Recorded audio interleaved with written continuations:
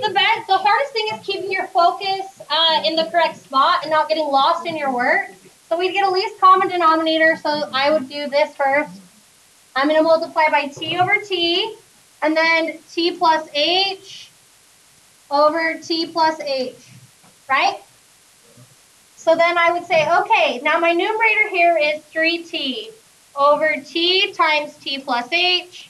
I always, I'm not lazy because when you get lazy is when you make errors. So I just rewrite it every time. I'm going to distribute negative 3 through negative 3t minus 3h all over t, t plus h, right? And that's all over h. Is everybody with me mentally? Why did we do that? So that we can combine the numerator up here. We have a common denominator, combine the numerator. Three t's are gone. So we have negative 3h over t, t plus h, all over h. A lot of you got that far, and you made an error on this next spot. This is the same thing as h divided by 1. Dividing fractions is easy as pi. We flip the second fraction and multiply. So then we have this, negative 3h on bottom, t, h, t plus h. I'm making it more difficult than it needs to be. Then the h's divide out, don't they? So negative 3 is on top, t and t plus h. okay, good. A lot of you did get that right. Okay, if you didn't, hopefully you're able to see where you were not thinking right. Try another one. Okay, this one always throws people off. This is straight out of the calculus book. So it's a notation that gets people. So everybody think about what this means. If I said to you find f of 2, you know you take 2 and plug it in wherever there's an x, right? Yep. You'd have 2 squared plus 1, which is 5. Now if I said find f of smiley face, you would take and you would have a smiley face plus five, smiley face squared plus 1, wouldn't you? Okay, so if I say find f of x plus h, f of x plus h, isn't that x plus h squared plus 1? Everybody. So if I say take f of x plus h, you plug in x plus h minus f of x. And then all over h. Ready, set, go. Simplify that down. So this f of x plus h is saying take your function and plug in x plus h. So this will become, plug in that there. So you'll have x plus h squared and then plus 1. That would take care of that. That's your function when you plug in x plus h. Then minus f of x, so minus that. And then all over h. And then you'll continue to simplify it.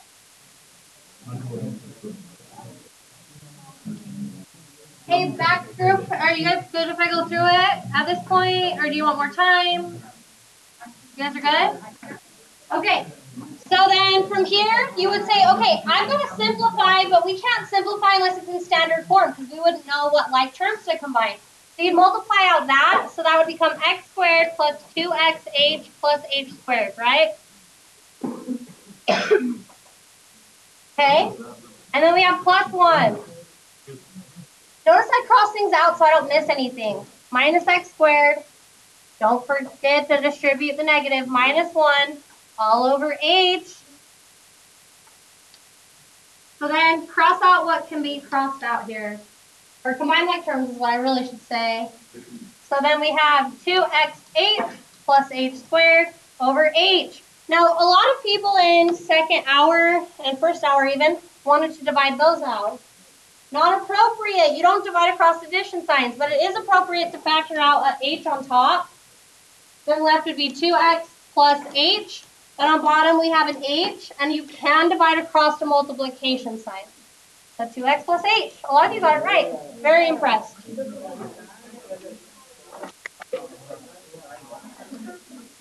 Okay, next one. You haven't got. So you should be taking f of x plus h would be this. 3x plus h squared minus 2 times x plus h. A lot of people forget to insert it both here and here.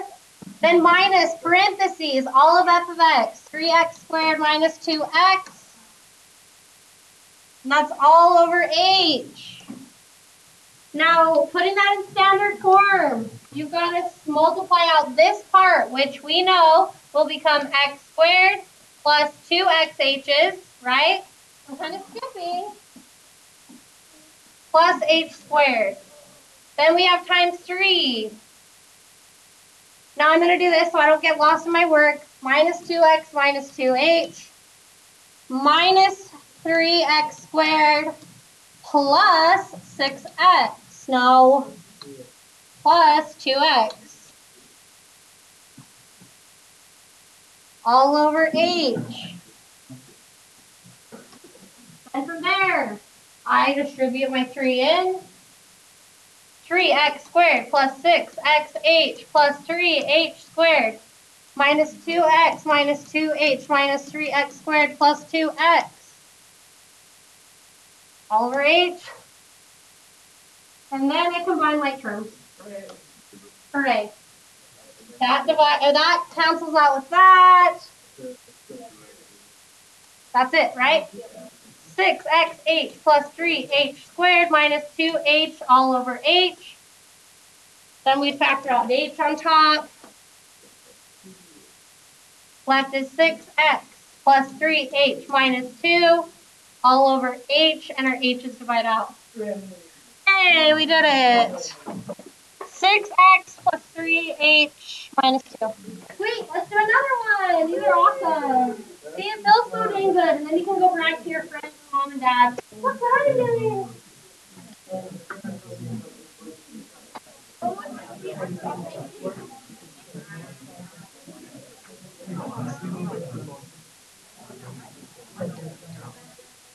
They probably like.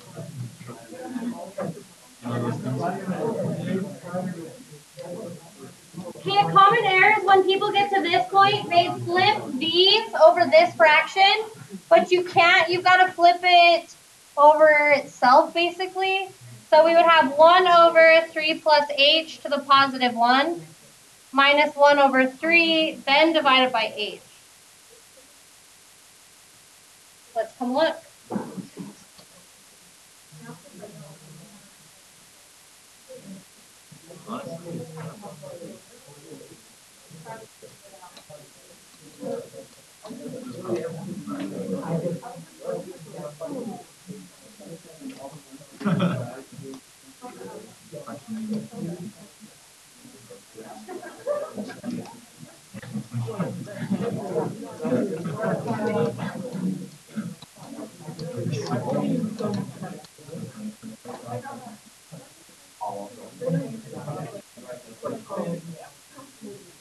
Okay.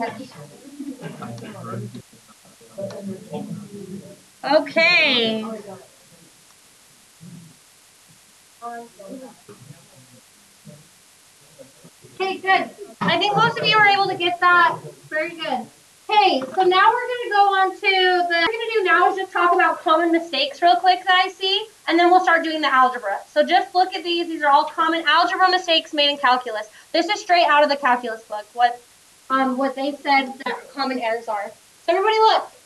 Errors involving parentheses. So if we have a minus x minus b, they forget to distribute the negative here and here. So it should be plus b, shouldn't it? Okay, and then right here, people will break the forbidden rules, square that, square that. We know we can't do that. We have to rewrite that out. Now this, people will say, I can factor out a 1 half, which is not true. If this was 1 half a plus 1 half b, we could factor out a 1 half and we'd get a plus b. But where it's multiplication, we can reorder it in any order. So wouldn't it be 1 half times a half? Which is 1 fourth, isn't it? Okay, errors involving parentheses, some more errors. People will factor out a 3, but that's an error. What should I really be looking at? I can factor out a 3, but it's got to stay in the parentheses, doesn't it? Now that's all squared. Everybody agree? So that would actually simplify to be 9 x plus 2 squared. They factored out a 3 from the get-go and pretended like the 3 wasn't squared as well. Okay, Errors involving fractions. People think you can split up denominators. You cannot just say this is the same thing as a over x plus a over b. Not true. Um, you can you can split up numerators, but you can't split up a denominator. The denominator is the denominator. Okay, right here, a lot of you are making this error. Dividing fractions easy as pie, so I always write the one, flip the second, and multiply. This should be x over ab, not that. Then right here, if we have 1 over a plus 1 over b, we can't just put the a plus b on bottom. I don't know why anyone would do that, but I guess because they're saying they think that there's a common numerator, so we can just add straight across. Wouldn't we need a least common denominator here? Okay. Okay, this actually I see all the time. Errors involving fractions. If we have 1 third times x, people will call that 1 over 3x, which is incorrect. Because think about it. 1 third times x is x over 1, which is x over 3. Correct. X should be on top. So same thing down here. Some weirdness is going on. If we have 1 over x plus 2, we'd have to do a least common denominator. We couldn't just add those together. Okay, these are huge errors I see still from a lot of people. They don't know the properties of exponents. Raise a power to a power and you multiply. So that's wrong. It should be x to the 6. Now look, this one's when you multiply the same base, you do not multiply the exponents. When you multiply the same base, you add. Did everybody hear that? It's hugely important. So this is not x to the 6th, this one's x to the 5th. And then we know, we've stressed it a lot in this class, there is a difference when there's parentheses versus not parentheses. 2 is not raised to the third power here where it is here, right? Okay. Okay, are these equal statements? Are these equivalent statements algebraically?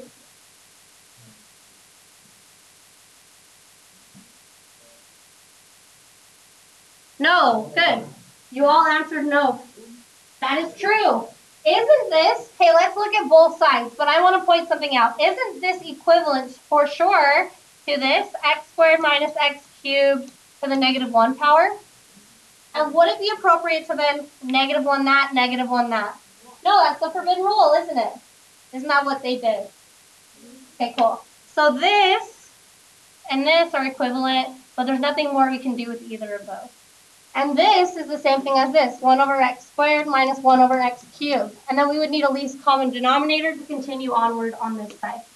Everybody good? Okay, cool. Errors involving radicals.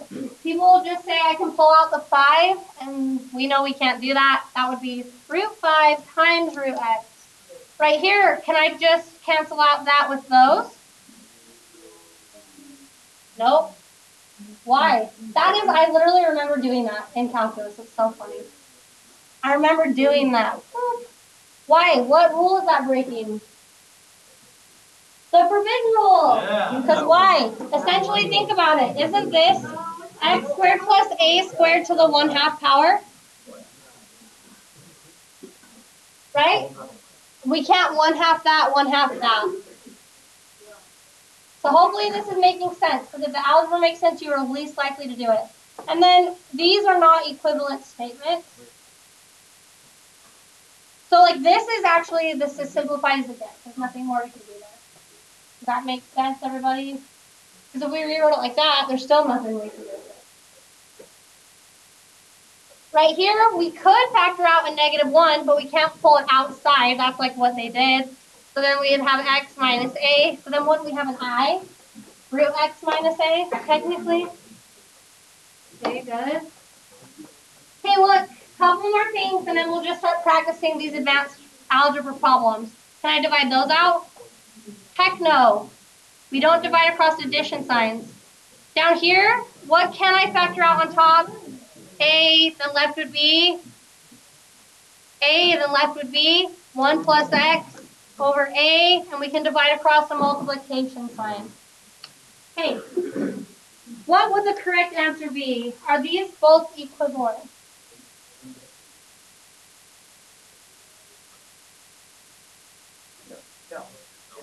No, so what is it? 1 plus 1 half, which is 3 halves, right? Can divide those out to become one half. Okay, now here is not errors, but just here's what we have to get good at, okay? So we're just trying to get you to get where we call this algebra calculus, calculus algebra, whatever. Um, we have to get you able to see things in different ways. Equivalent mathematically, algebraically, but in, written differently. Because in calculus, there's going to be times when it's better to write it one way versus the other way, which you're not going to know right now. We're just getting you used to seeing things that are equivalently written mathematically, but are just are, are equivalent algebraically, but written differently. Does that make sense what I'm saying? So everybody look. Isn't this side and this side equal mathematically? 5x to the fourth divided by 8. Can I pull out 5 eighths? They're equal, aren't they? Yes, they are equal. Okay. What are these sides equal? Yes or no? Algebraically. Yeah, they are equal, aren't they? Guys, think about it. If we multiply, if we pull out a negative 1 6, if we multiply that back in, we multiply straight across. Is everybody good? so they essentially factored out a negative 1 6. Are these equivalent?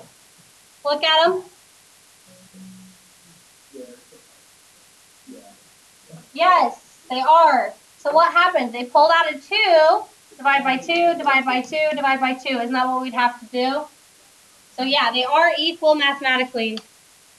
Okay, now we know that if we were in our class, if we were given something like this, we'd go this way, right? We would then flip it.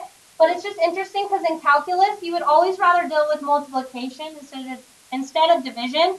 So you would go backwards. If you were given a problem right here and asked do calculus on it, you would rewrite it like this as multiplication most of the time.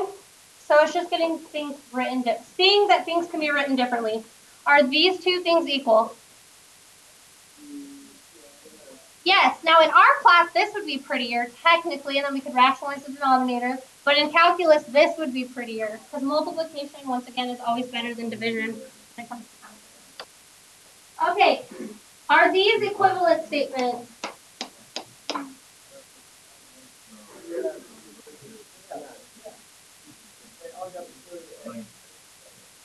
They are, right? Because we know it's okay to go like this. As long as we keep all the denominator the same, x over root x, we can split this up. Plus 2x squared over root x. Plus 1 over root x. Why is that okay to split up a numerator? Because if we have a common denominator, we can put the numerator together. So that means we can split it apart. Now from there, we can bring these up with negative exponents if we so desire and get this. Wouldn't we get that? So they are equal. Are these equal? Question mark. Does everybody agree with him when he says yes? Yep, correct. We can split this up. Does everybody see why? Okay. Are these equivalent? Yes or no?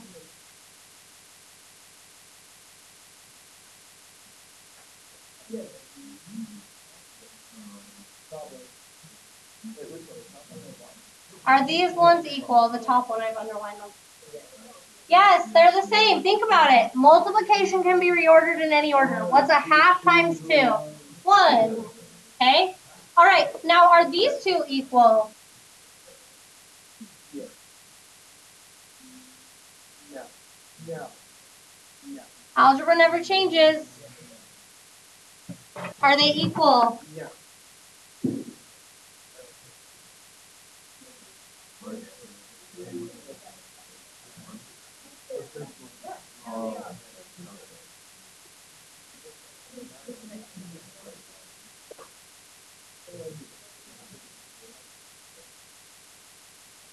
Oh, I think you're just, yeah, I see where you're coming from.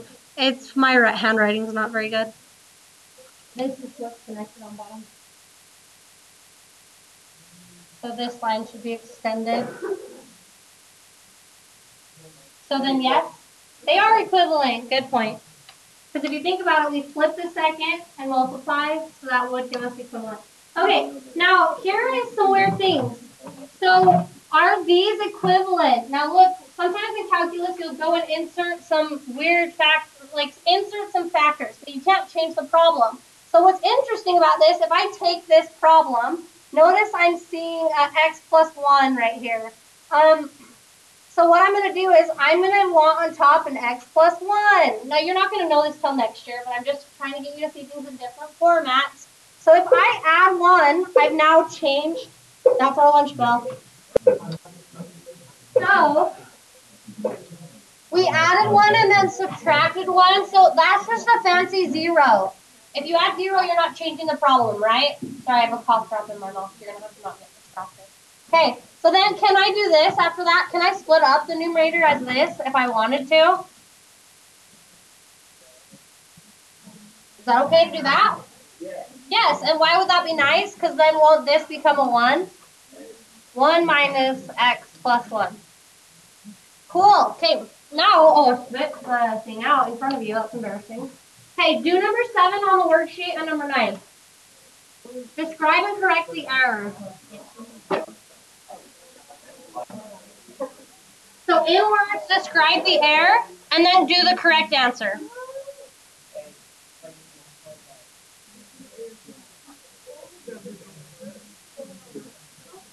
So this is how you what you would say. They shouldn't be distributing A to the top and bottom, which I actually see people do that all the time. Right? That's not true. So you I don't know, however you want to word that. Should only multiply A by to the top, right? Because this is A over 1. So it should be ax over y. Okay, do number nine now. What error did they make? What what rule did they break? The forbidden rule. So that's what you'd write. They broke the forbidden rule. So the final answer on number nine, the square root of x plus nine doesn't simplify, does it? So that would be our final answer. Okay, do 17. Can you tell me just by looking at 17 what they did automatically? It's pretty straightforward. I, I can see exactly what they did. Yeah, they just added it straight across. And you can't do that. So you would write that. Can I add? You need a least common denominator, so do that one correctly. So what is the correct answer for this one?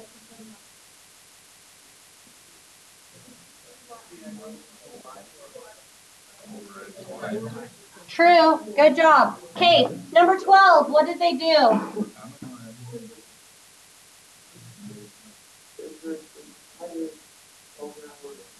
Exactly, yes. They divided over an addition sign, so you'd say that.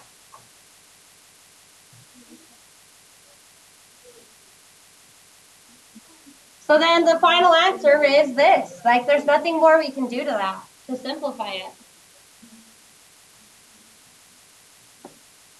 Pretty easy stuff. Okay, let's go to 19. It says insert the required factor. Basically, this is asking you, make these statements equivalent by inserting something to make them equal. What should I insert? Yep.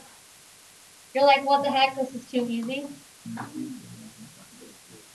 We factored out a one-fifth essentially then, right? We talked about how you'd see them do that.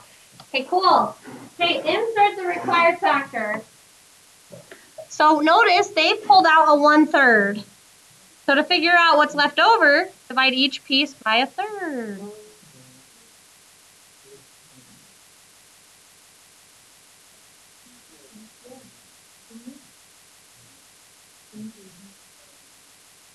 So you said, I heard somebody say 2x squared. Good. So you pull out a third, divide by a third, divide by a third, divide by a third, giving you that. Good point. Okay, and now this one on 41, it says, write the expression using negative exponents. So what they're trying to get, you, they're telling you what to do because you're not, this isn't calculus, so you're not knowing that you would want to do that. But that's exactly what you would do in calculus, is rewrite it instead as a multiplication problem. So with negative exponents, won't this piece become 4 times both 3 and x to the negative 1? And then plus 4x to the negative 4 minus 7x parentheses 2x to the negative 1 third. Would it be appropriate to take 4 and put it in?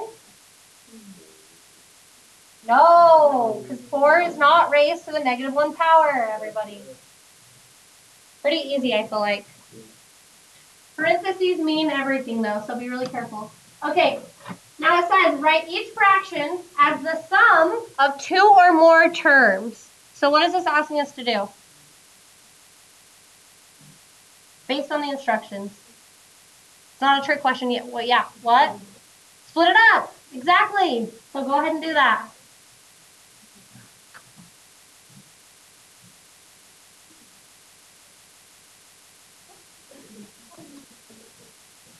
You'd split it up like that, which would be this, 16 over x minus 5 minus x. Good.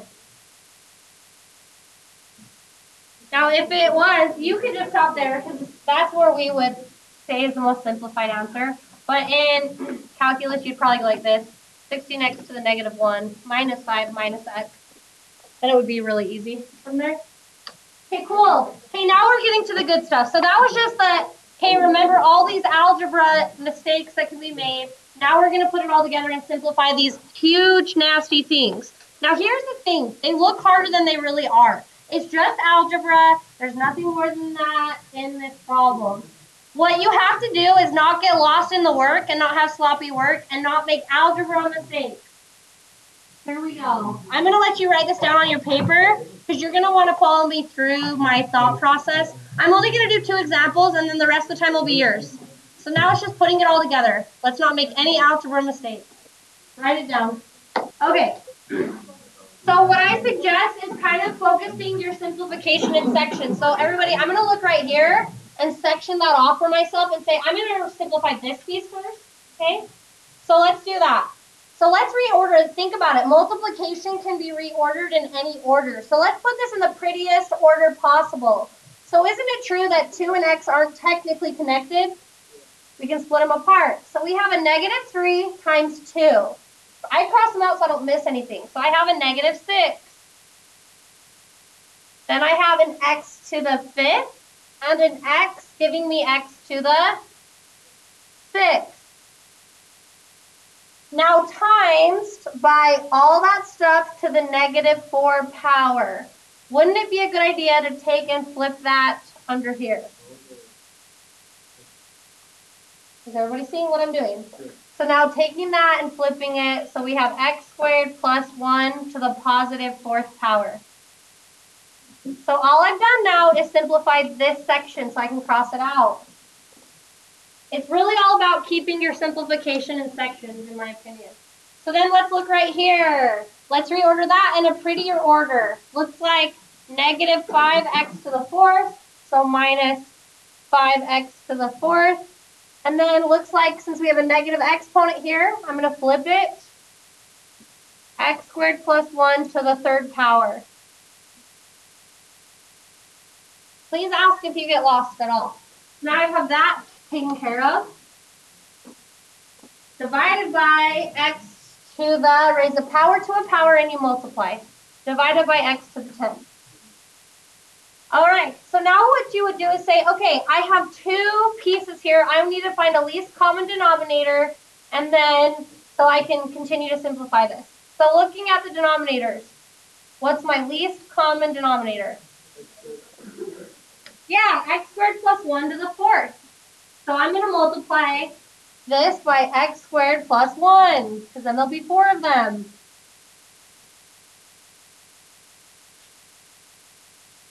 Do you see how that will make it x squared plus 1 to the fourth?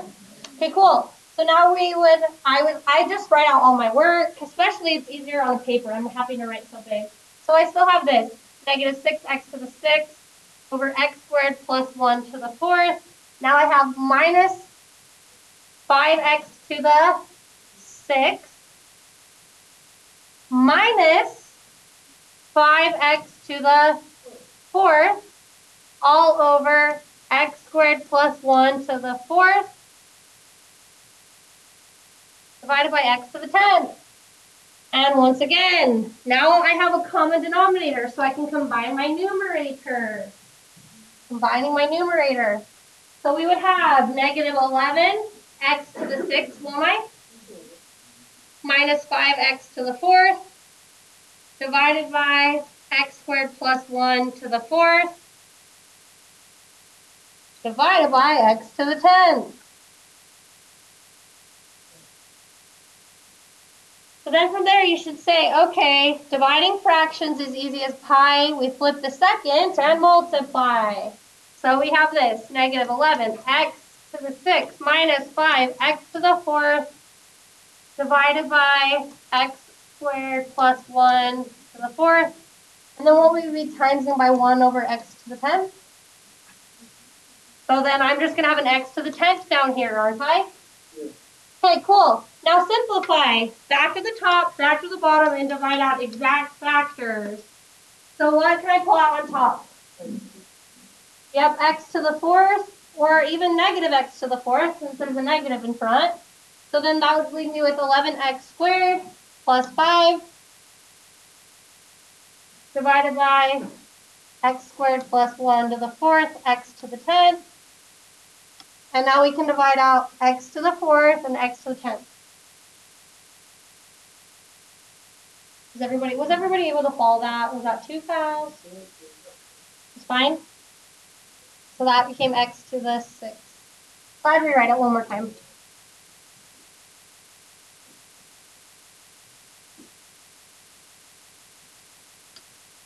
And there's nothing more we can do here.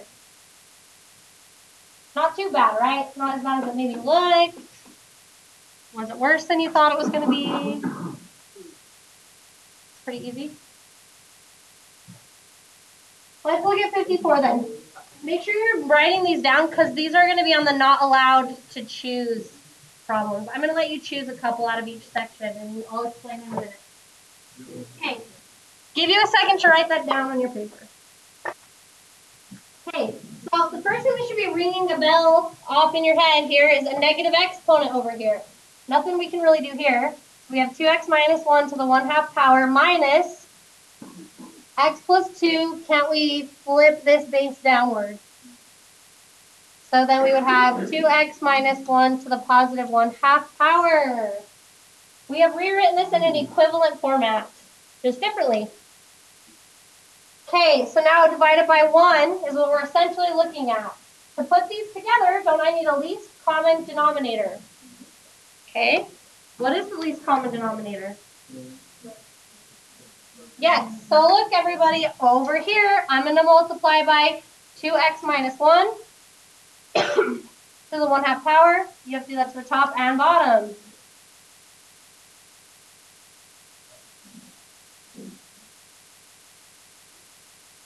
Now let's multiply our numerators so we can combine like terms. Now look, notice something interesting. Isn't this the same base? We're multiplying the same base. So what do we do with our exponents? Add them. What's a half plus a half? 1. So this literally just became 2x minus 1 to the first power. All right there.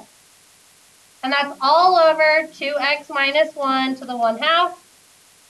Then over here, I'm going to distribute my negative. So minus x minus 2 over 2x minus 1 to the 1 half. And now I can put my numerator together since I have my common denominator. So since it's 2x minus 1 to the first, that's just the same thing as 2x minus 1. 2x minus x is negative 1 minus 2. And that's all over 2x minus 1 to the 1 half power. Now, technically, yes, you could rationalize the denominator and stuff, but that's fine. Stop there. We're good. Does everybody understand that? Wasn't as bad as it maybe looked, right? Okay, cool. So this is what you're going to do for homework. There's only 15 problems assigned. Only 15 out of this. And honestly, that's not very many, considering um, half of them are really easy. Like those first ones we did. Okay, these are each considered a section. Section number one, section number two, section number three, section four, and then section five. You have to pick three problems from each section that we have not already done and do those. Three, so does that make sense? You won't do one through 18, you're gonna pick three in that section that we have not already done. Make sense? Okay, cool. Now down here, we've done two of them, so you'll have to do the other three, whichever other three we didn't do. We've done two of them, I can't remember which two. So you want to, you'll want to write down what each section is. Now here is one thing I want to offer you. Algebra just comes with practice. Being good at algebra comes with practice, so I really want to assign more than that, to be honest, but I felt like that's a bit much where they're hard. So I am going to offer bonus on any test of your choice for this quarter. So you could go do it at the end of the quarter. You could put it in whatever test you want. Per five problems, you'll get a 1% increase. So additional five, an additional five problems. So let's say that there were five more problems in each section you wanted to do. That'd be a one, two, three, four percent increase. Does that make sense? Every five additional problems you do that you have not done as homework or that we have not done together would be a 1% increase. But here's what you have to do. You have to get the correct answer, you have to show your work, and that needs to be on a separate sheet of paper, not on the homework paper, because that gets really confusing for me. Yes.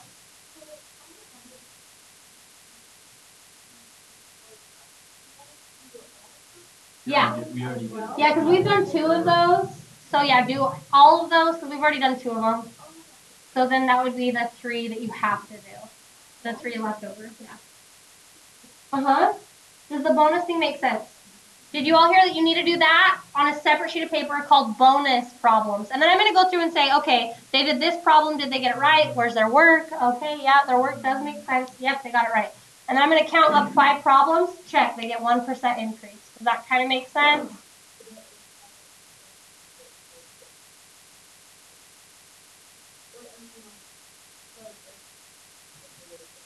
Yes. Yeah, it has to be besides what's already required.